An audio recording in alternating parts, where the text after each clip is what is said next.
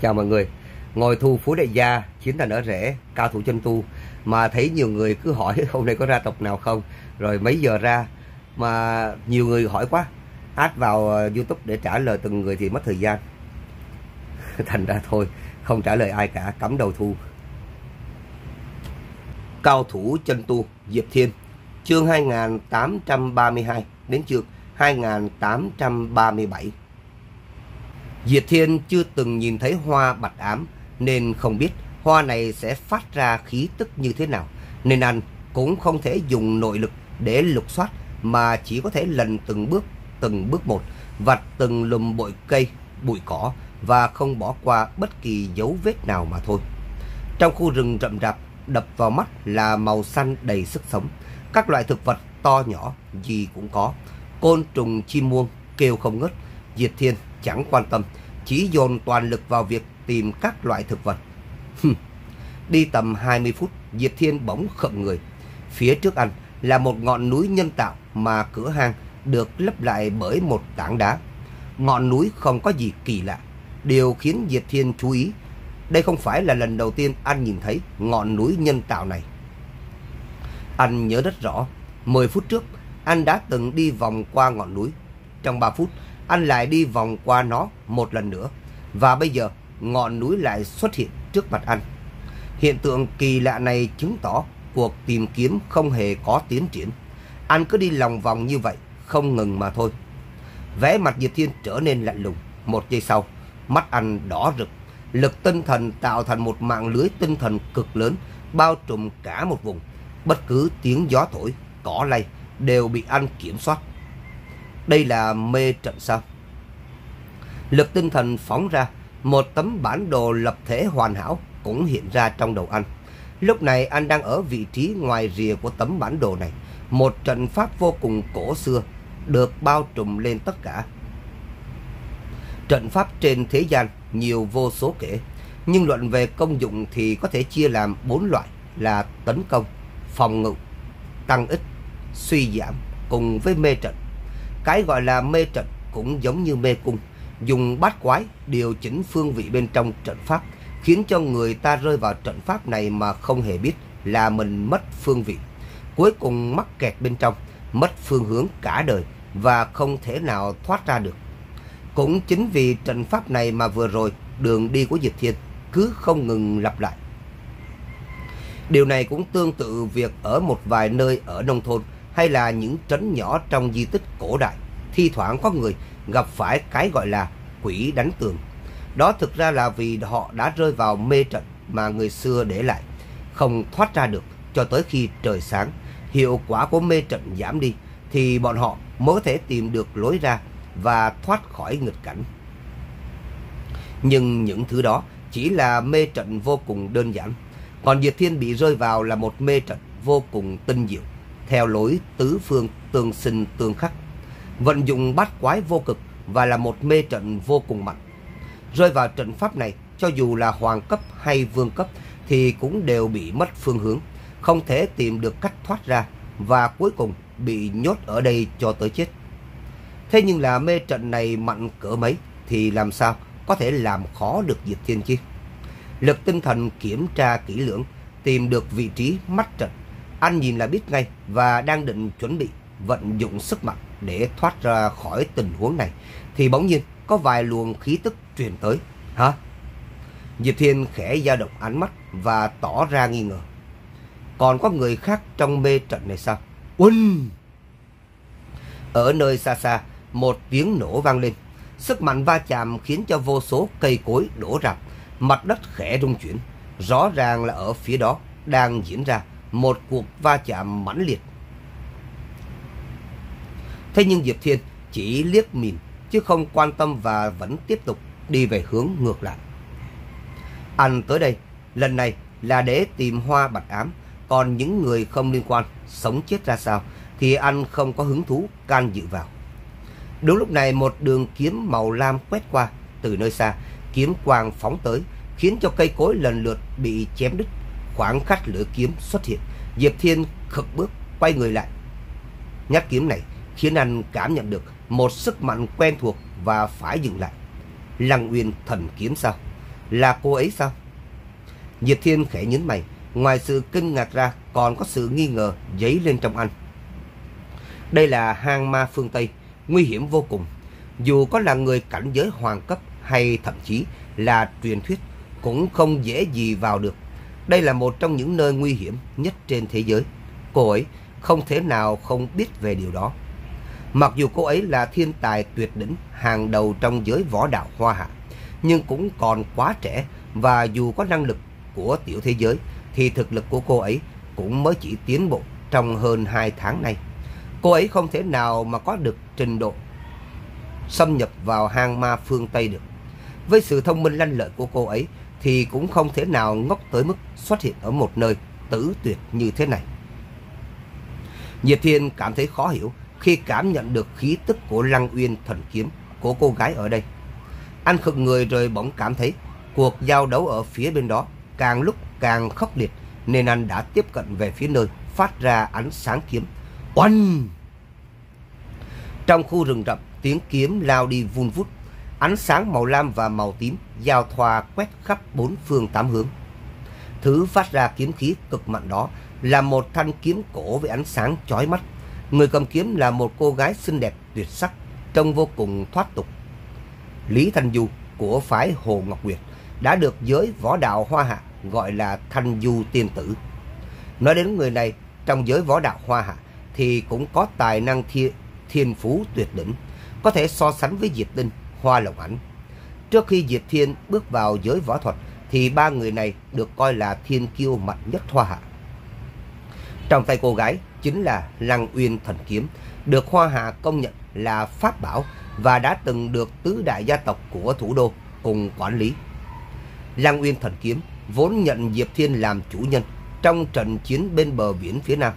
Nhưng Diệp Thiên không thích sở hữu vũ khí, cũng không muốn mượn sự trợ giúp từ vật ngoài thân, nên cuối cùng đã giao lại cho Lý Thanh Du, người của phái Hồ Ngọc Nguyệt. Lý Thanh Du vừa xinh đẹp vừa tài năng, là người trong mộng của rất nhiều thanh niên hoa hạ. Nhưng những người ngưỡng mộ và theo đuổi cô ấy rất nhiều. Từ trước tới giờ cô gái luôn tỏ ra cao ngạo và giữ hình tượng tiên tử của mình. Lúc này Lý Thanh Du đã không còn giữ được vẻ lạnh lùng thường ngày nữa, mà đã phải châu mày nghiến răng. Mỗi nhát kiếm tung ra đều khiến cả cánh tay rung lên mãnh liệt. Rõ ràng là cô gái đang cố gắng cầm cự. Bởi vì xung quanh cô gái là hàng trăm, hàng nghìn con bọ cạp khổng lồ màu đen đang di chuyển với tốc độ cực nhanh.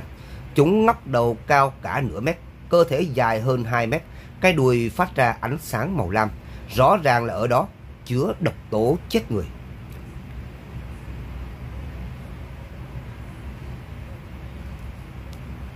Đám bọ cạp này không chỉ to khổng lồ mà còn có tốc độ cực nhanh, có thể so sánh ngang với những người thuộc cảnh giới siêu phàm. Hơn nữa, trên người chúng còn đầy những chiếc vẫy cực cứng vô cùng sắc bén. Có thể dễ dàng chặn được cả súng đạn của súng cỡ vừa, đào kiếm thông thường, căn bản không có tác dụng gì đối với chúng. Đúng lúc này Lý Thanh Du cầm Long Uyên thần kiếm trong tay, nhưng mỗi nhát kiếm vung ra cũng chỉ giết được có 3 đến 4 con, mà số bọ cạp này lại đông tới mức ùa lên như sóng trào, ba bốn con, chẳng hề hấn gì với chúng. Chúng chết đi, lập tức có bọn phía sau lao lên, mắt chúng dấy lên vẻ thèm khát màu đỏ máu và không hề tỏ ra sợ hãi.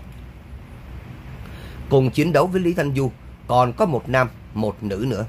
Người đàn ông mang vẻ mặt phương Tây điển hình, trông khá tuấn tú, với cơ thể cao to, tóc vàng, mắt xanh, cơ thể phát ra khí tức hùng hậu. Mỗi một cú đấm của người này có thể đẩy lùi được 4 năm con bọ cạp. Có thể nói là thực lực đã đạt tới siêu phàm thượng phẩm.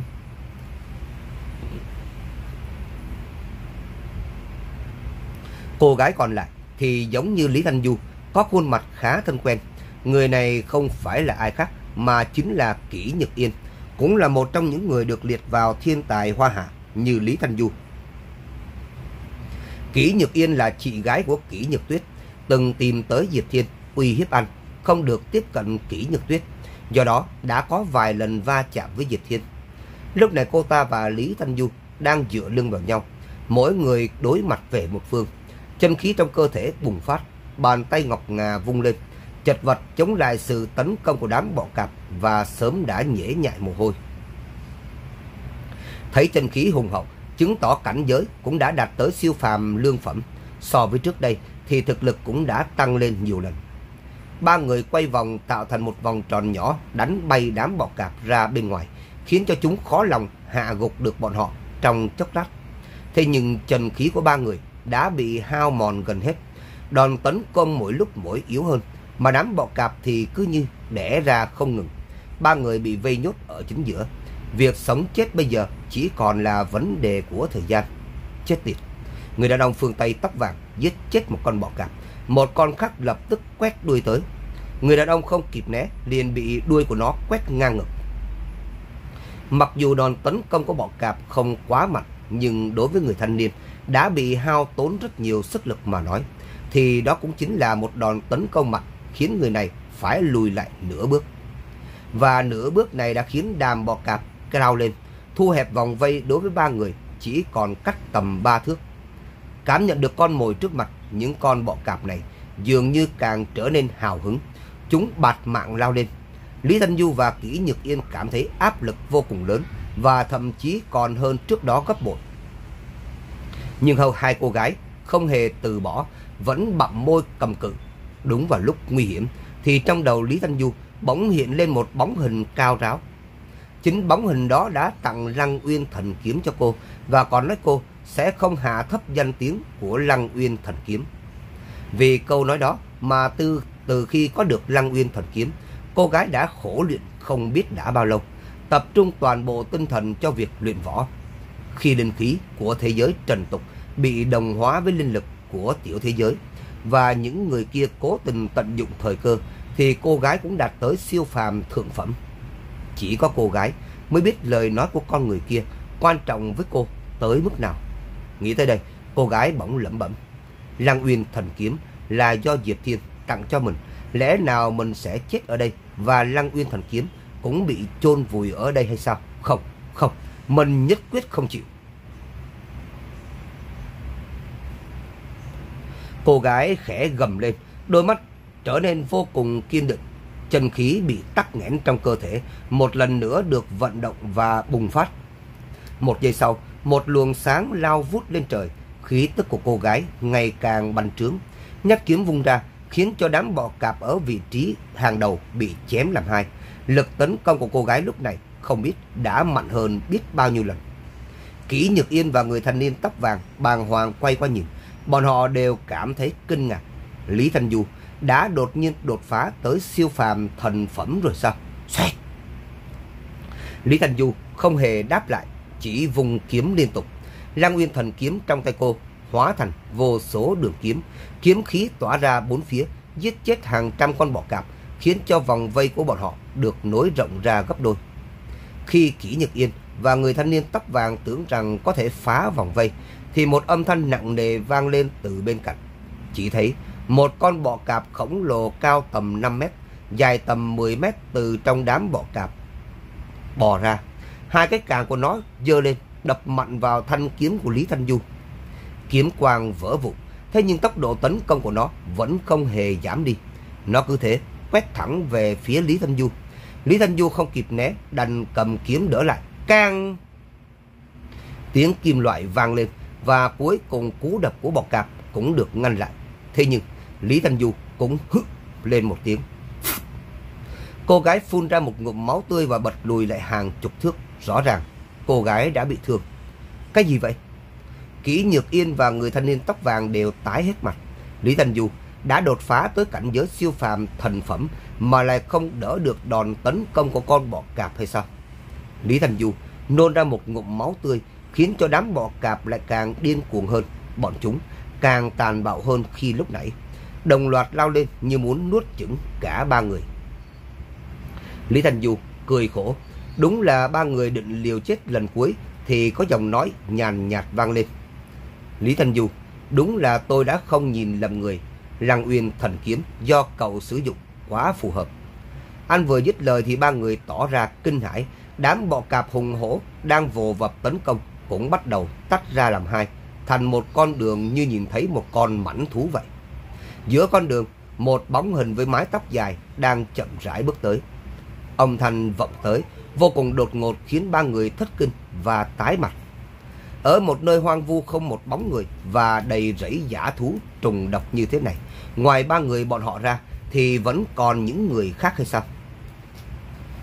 Ba người kinh ngạc, vội vàng quay đầu lại thì thấy đám bọ cạp đã dạt sang hai bên đường. Một bóng hình cao lớn đầy tự tin bước tới, cuối cùng đã dừng trước mặt ba người. Nhìn thấy người này, Lý Thanh Du và Kỷ Nhật Yên đều đanh lại và thất kinh. Bọn họ không ngờ gặp lại Diệp Thiên ở đây. Hơn nữa, còn trong tình huống ngàn cân treo sợi tóc. Sau khi ngạc nhiên, thì họ lập tức cảm thấy vui mừng và kích động khôn xiết. Bọn họ biết rõ rằng Diệp Thiên xuất hiện là bọn họ đã được cứu. Người thanh niên tóc vàng nhìn Diệp Thiên với vẻ nghi ngờ, nhất thời không biết phải làm như thế nào. Diệp Thiên chẳng buồn nhìn đám bọ cạp, chỉ thản nhiên nói với Lý Thanh Du.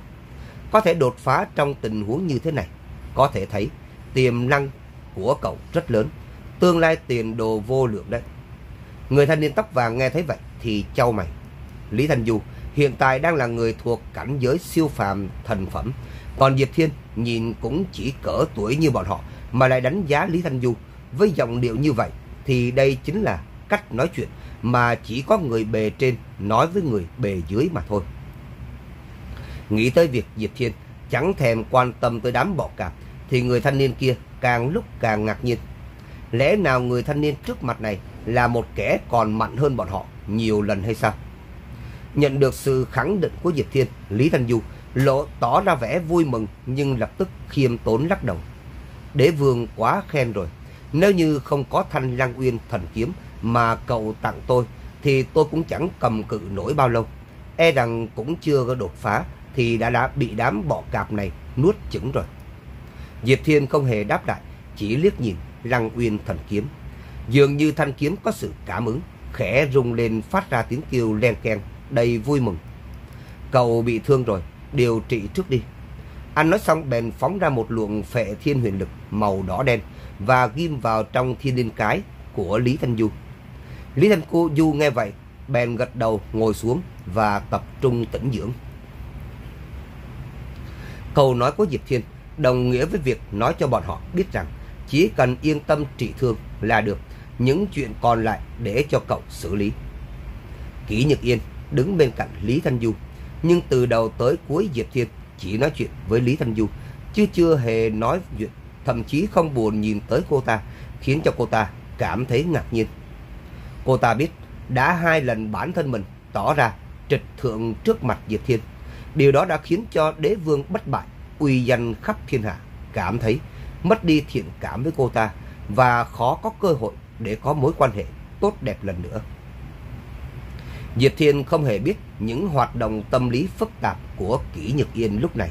Đối với anh mà nói, Kỷ Nhật Yên chỉ là một người xa lạ không liên quan, chỉ là chị gái của Kỷ Nhật Tuyết mà thôi. Anh chậm rãi đứng dậy nhìn về phía những con bọ cạp khổng lồ. Một con bọ cạp cảm nhận được cái nhìn đầy khinh thường của Diệp Thiên thì lập tức tỏ ra tức giận. Cái đuôi của nó trùng lên, bần bật, mở ra hợp lại và phát ra tiếng kêu như kim loại. Nó là vua bọ cạp, thống lĩnh hàng nghìn, hàng vạn con bọ cạp khác. Có thể nói, nó cũng là bá chủ của khu rừng này. Vậy thì sao có thể để cho một con người cõn con thế kia khiêu chiến với sự uy nghiêm của nó chứ. Nó nhìn Diệp Thiên chằm chằm, cây đuôi dựng lên, định tấn công anh. Nhưng đúng lúc này Diệp Thiên chỉ khẽ quét một đường bằng ngón tay từ trái sang phải. Phù. Máu đen bắn ra, cơ thể con bọ cạp lập tức bị chém đứt làm hai. Màu đỏ máu trong đôi mắt dần tắt liệm và mất hết sinh khí. Những con bọ cạp khác khựng lại. Một giây sau, Chúng đồng loạt lui ra sau và chạy mất dạng trong khu rừng. Nhìn thấy cảnh tượng đó, Kỷ Nhật Yên không khỏi lắc đầu. Đối đầu với đám bọ cạp, bọn họ đã liều mạng chiến đấu mà đến cuối cùng vẫn không làm được gì. Vậy mà Diệp Thiên lại chỉ dùng một cái phất tay khẽ khàng, lại có thể đẩy lùi được cả đám. Đúng là chênh lệch quá xa vời. Mặc dù bọn họ cùng tuổi với Diệp Thiên, nhưng anh đã đứng trên đỉnh cao vinh quang, còn bọn họ vẫn đang trên đường trèo lên. xa xôi vô tận. Người thanh niên tóc vàng đứng bên cạnh thấy Diệp Thiên phất tay thì ánh mắt dao động với vẻ vẻ vô cùng kinh ngạc. Rõ ràng là người này không ngờ Diệp Thiên lại sử dụng sở hữu tu vi kinh thiên động địa như thế. Đám bọ cạp rút lui, Kỷ nhược Yên thở phào, nhưng đúng lúc này Lý Thanh Du đang ngồi trị thương bên cạnh bỗng phát ra tiếng rên rỉ đau đớn. Thanh Du, làm sao vậy?